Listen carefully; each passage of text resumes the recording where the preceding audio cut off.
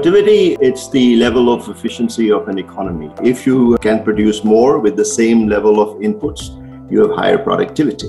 Better human skills, uh, improvements in uh, organizational capital, different way of organizing and managing things. So, in order to uh, achieve the same level of uh, economic growth uh, or to increase it, you need higher labor productivity.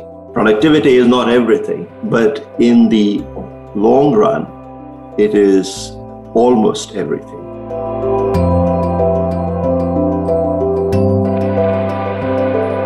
The problem is that the benefits of technological change, uh, they have not diffused widely uh, throughout the economies. There has been a decline in uh, competition in markets. When you have the rise of monopoly power, uh, and a weakening of competition, that is not uh, good for a wider diffusion of technologies and, and for uh, uh, future innovation because competition is a major force that promotes these kinds of outcomes.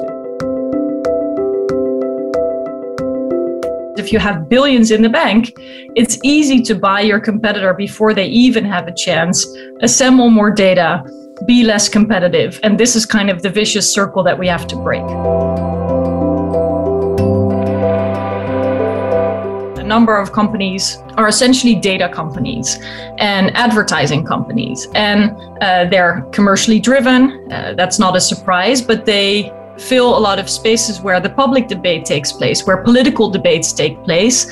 And so there's a lot of questions about, you know, what it means when advertising giants are actually designing the information architecture of our democratic society.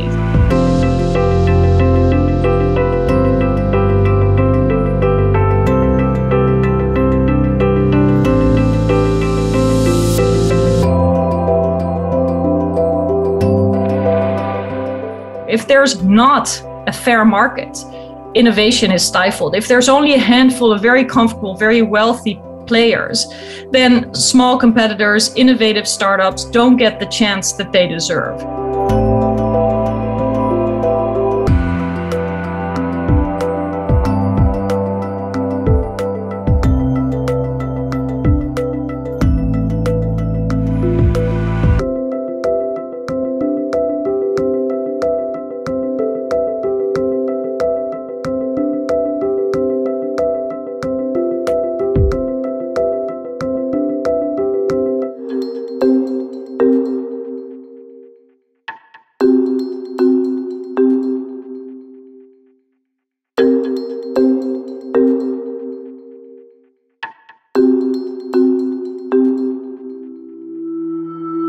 You